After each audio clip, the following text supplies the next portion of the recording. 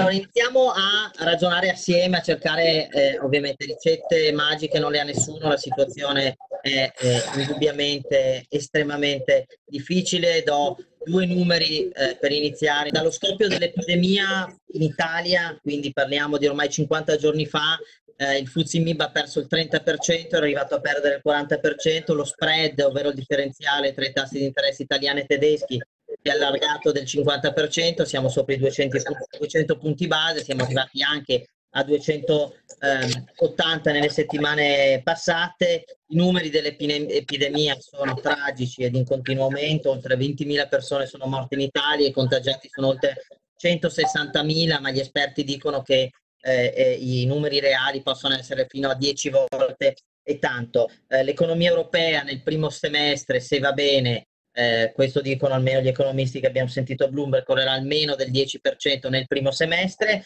eh, numeri che insomma eh, veramente eh, da eh, capogiro, ma è il momento eh, di cercare di capire come e cosa potrà succedere una volta in cui il cosiddetto lockdown, la quarantena, sarà allentata, nonostante ovviamente il virus non sarà scomparso. Partiamo da Mossa, voi insomma Banca Generali 69 miliardi di masse in gestione, 5 miliardi raccolti l'anno scorso, 1,5 nel primo di trimestre quest'anno, siete specializzati ovviamente nella gestione dei risparmi, nei servizi di wealth management, dal suo osservatorio privilegiato in una fase veramente così eh, difficile, eh, come, si sta, come si state muovendo eh, per eh, salvaguardare e gestire i patrimoni in questa fase?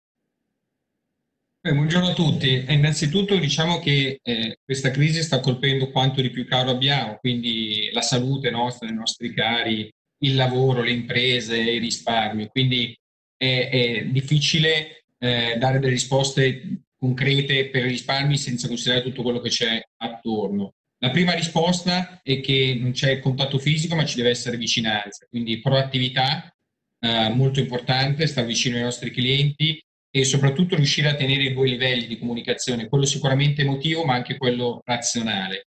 Abbiamo visto delle reazioni a livello di politica economica senza precedenti perché questa è una crisi che ha colpito tutto il sistema ed è evidente che eh, lato risparmi non c'è la ricetta giusta ma bisogna considerare un po' le esigenze dei singoli. Purtroppo ci sono degli imprenditori che stanno mettendo mano ai propri risparmi per la situazione, per dare ossigeno alle proprie imprese, ci sono famiglie che stanno intaccando i risparmi, quindi una ricetta per tutti non c'è. Quello che è certo è che non è solo un problema del mercato azionario, eh, l'italiano, il risparmiatore italiano mediamente ha il 20-25% di azioni, tutto il resto è investito in obbligazioni nel credito e forse l'asset class che ha fatto eh, peggio nei portafogli dei nostri italiani, degli italiani.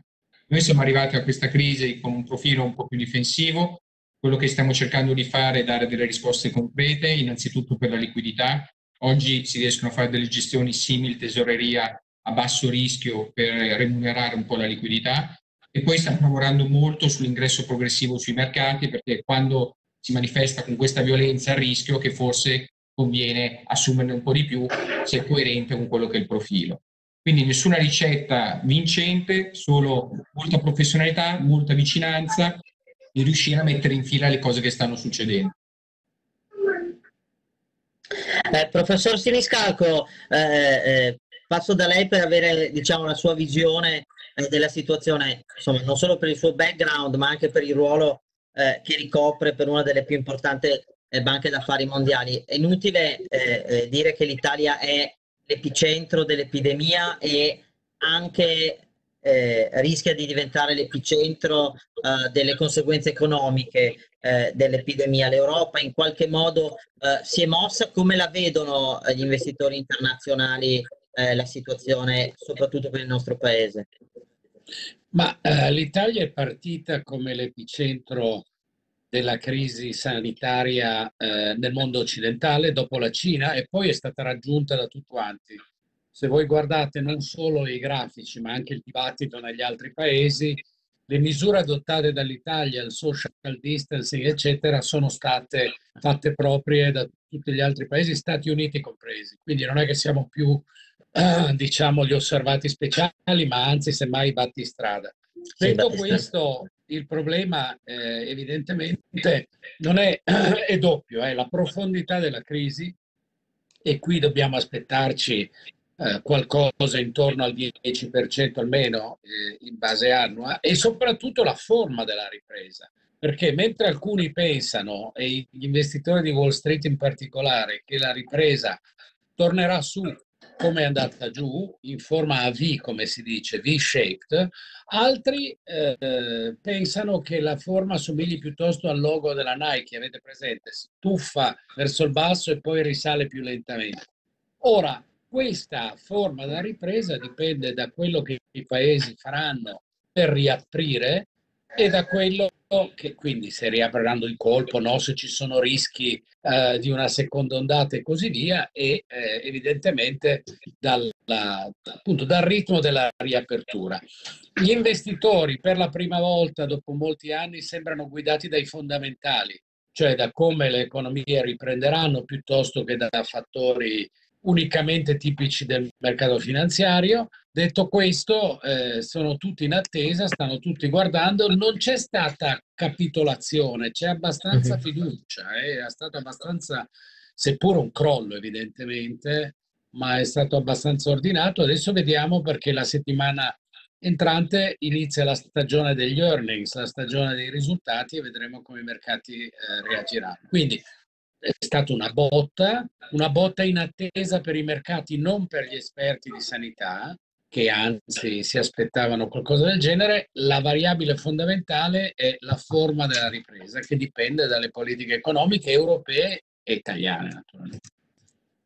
A proposito di politiche economiche, eh, risposto a, a, Fabrizio Pagani, senza eh, diciamo entrare nella anche nella zuffa politica che negli ultimi giorni e settimane si è creata attorno al, ai meccanismi di garanzia eh, a livello europeo, al MES, ma eh, ragionando eh, su quelle che, che sono, possono essere veramente gli impatti eh, delle misure che sono state messe in atto dal governo italiano e, eh, e eh, dall'Europa. Um, noi oggi a Bloomberg eh, abbiamo fatto una piccola inchiesta eh, che titola eh, 750 bilioni, miliardi di eh, in qualche modo fondi che potrebbero arrivare alle imprese italiane, il rischio che la burocrazia li faccia arrivare troppo tardi. Cioè, eh, in, in, altri paesi le application sono già avanti, le imprese hanno già ottenuto parte dei fondi per ripartire, in Italia non abbiamo ancora eh, gran parte di questi meccanismi.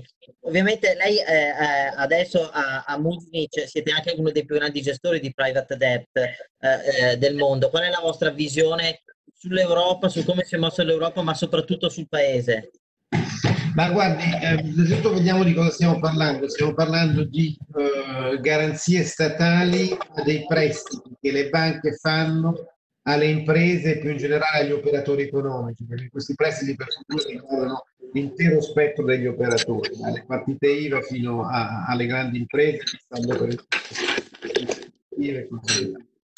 Um, quindi um, questi, questi, questi, prestiti sono stati eh, autorizzati, diciamo, queste garanzie sono state autorizzate nel decreto recentemente adottato e coprono, i prestiti coprono circa il 25% del fatturato dello scorso anno. Perché sostanzialmente il ragionamento corretto che si è fatto è stato si è chiuso le attività, si sono soffermate le attività fortemente rallentate per circa tre mesi, quindi io prendo uh, uh, dalle banche un credito uh, relativo al, stessa, lo stesso periodo dello scorso anno. Questo è un aspetto molto importante perché può superire, soprattutto se arriva in tempi rapidi, un'esigenza e una necessità molto molto acuta del sistema economico, cioè l'assenza di liquidità.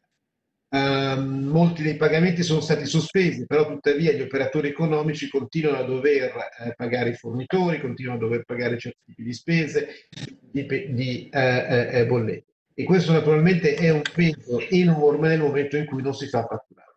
Per questo ehm, il sistema economico e il governo garantiscono un prestito eh, che ristora questo, questa assenza di flusso di cassa ed è un prestito a condizioni eh, molto vantaggiose. Ehm, è importante che, eh, che, le procedure messe in atto dal governo siano effettivamente le più rapide possibili. eh, vi è qualche dubbio, eh, vedremo nei prossimi giorni eh, come la situazione evolverà. Ci auguriamo naturalmente che uh, chi ne ha bisogno e chi ne fa richiesta possa accedere in tempi, in tempi rapidissimi, perché il rischio, qualora questo non avvenga, è effettivamente che avremo al momento dell'apertura meno riaperture e più esercizi commerciali eh, chiusi, più ambi- eh, in, in, imprese che sostanzialmente non... Eh, e questo sarebbe così, un danno permanente per il nostro sistema economico. E certo, quello è il, è, è il grande rischio eh, e, la grande pro, preoccupazione. Eh, passerei ad una tele principe eh, per guardare un po' il mercato. No?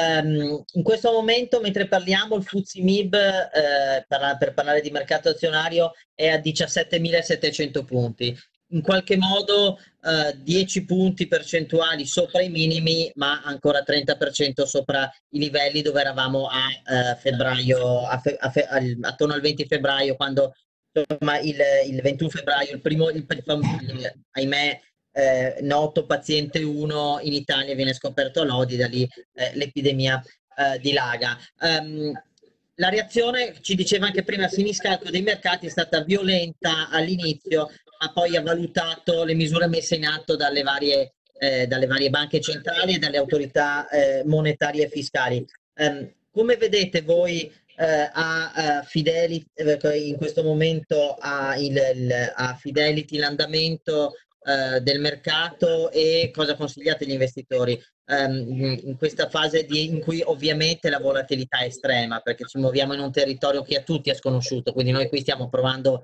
no, a, a, a, fare qualche ragionamento, ma parliamo di un cambio totalmente epocale, eh, per cui quello che era vero fino a due mesi fa bisogna capire cosa sarà no, quando le, la fase almeno più critica dell'emergenza sarà finita. Infatti io partirei proprio col dire che non c'è mai stato nella storia un primo trimestre peggiore di quello di quest'anno. E le flessioni sono state talmente intense e violente da averci costretto ad aggiornare il vocabolario della finanza. Ormai Black Monday non è più il crollo di Wall Street del 19 ottobre dell'87, è il 9 marzo del 2020. E questi crolli sono avvenuti in un contesto, come giustamente le diceva, di esplosione della volatilità su livelli superiori al massimo assoluto di sempre che avevamo registrato in occasione del fallimento di Lehman Brothers, quindi delle vere e proprie montagne russe. Se però vogliamo guardare avanti, è importante capire perché il mercato ha avuto questa reazione e secondo noi è legata a quattro fattori. Prima di tutto a inizio anno ci aspettavamo quello che Voltaire definisce il migliore dei mondi possibili e poi i mercati hanno dovuto prezzare il rischio di una recessione globale. Secondo, nel primo caso di pandemia, ai tempi dei social media, siamo stati vittime dell'infodemia, questo flusso martellante di notizie incoerenti ove non errate. Terzo, i mercati sono cambiati molto negli ultimi anni e quindi la flessione non ha fatto scattare solo come in passato le margin calls, ma le vendite si sono scatenate per la liquidazione dei fondi passivi, degli hedge fund, degli algoritmi di trading. E infine, questo è un punto importantissimo, abbiamo dovuto accettare l'incertezza, perché i governi, pur avendo avuto modo di osservare per settimane il virus in Cina, le sue dinamiche infettive, le tecniche di contenimento, hanno deciso di non seguire né sul piano sanitario né su quello economico il libretto di istruzioni della Cina e hanno precipitato il mondo nel caos. Di positivo, guardando avanti, possiamo dire però che si sta cercando di mettere ordine nel caos a partire proprio, come citava lei, dalle banche centrali, che hanno agito in modo molto efficace come prima linea di difesa e sebbene con qualche incertezza in più e troppo spesso in ordine sparso, anche i governi stanno mettendo insieme un'azione espansiva senza precedenti nella storia economica e l'azione dei governi sarà fondamentale affinché uno stop per adesso temporaneo dell'attività economica non si tramuti in una crisi ciclica che terrebbe a lungo ostaggio i mercati. Aggiungo un'altra considerazione. Pur in uno scenario negativo come appare quello attuale, vi sono degli elementi positivi oltre all'azione dei governi e delle banche centrali. Per esempio la Cina, che è il motore della crescita globale, è già in ripresa. Inoltre la caduta del prezzo del petrolio riduce il rischio di inflazione, lasciando mano libera all'azione espansiva delle banche centrali che infatti stanno agendo a pieno ritmo, ma è ancora più importante far notare che un basso prezzo del petrolio equivale esso stesso a una politica fiscale espansiva perché pari a un taglio della bolletta energetica mondiale. Quindi io concluderei dicendo che è importante ricordare che chi oggi si lascia andare al più cupo pessimismo non sta solo scommettendo contro la comunità scientifica mondiale, ma anche contro uno sforzo senza precedenti nella storia di governi e banche centrali. Eh, uno sforzo senza precedenti, eh, indubbiamente, è una situazione senza precedenti. Mossa, torno a lei. Um, eh, quindi cautela sul mercato, lei è d'accordo eh, su eh, queste stime che abbiamo visto di rischio, uh, rischi recessivi, come potrà essere la shape, la, la, la, la ripresa e poi anche insomma, dal suo ovviamente osservatorio privilegiato um, gestisce una fetta importante del risparmio del, privato del paese. Eh, come si può veramente provare a, a ripartire? Quale può essere la, una delle ricette? Ma guardi, a livello eh, globale credo che eh, si stia facendo moltissimo e il ruolo delle banche centrali è fondamentale. Quindi eh, io sono ottimista e credo che la, la volatilità non sia finita, ma eh, che ne usciremo più forti di prima. Problema vero è se poi parliamo invece del, del nostro paese. Eh, noi siamo il terzo operatore di clientela private in Italia e credo che in qualche modo bisogna mettere in fila delle azioni da fare sul nostro paese, nel nostro paese il più velocemente possibile. La prima, eh, io credo che il patrimonio privato non debba essere utilizzato per tappare i buchi, gli errori eh, del, del, del governo o dello Stato, ma possa essere utilizzato per fare girare di più l'economia. Quindi avvicinare il risparmio privato alle aziende è un dovere e noi lo stiamo provando a fare come sostanzialmente da una parte raccogliendo la richiesta di finanziamenti delle piccole e piccolissime imprese che hanno disperatamente bisogno di ossigeno e dall'altra fornendo delle, delle soluzioni di investimento che aggreghino questi finanziamenti ma con diversi livelli di protezione.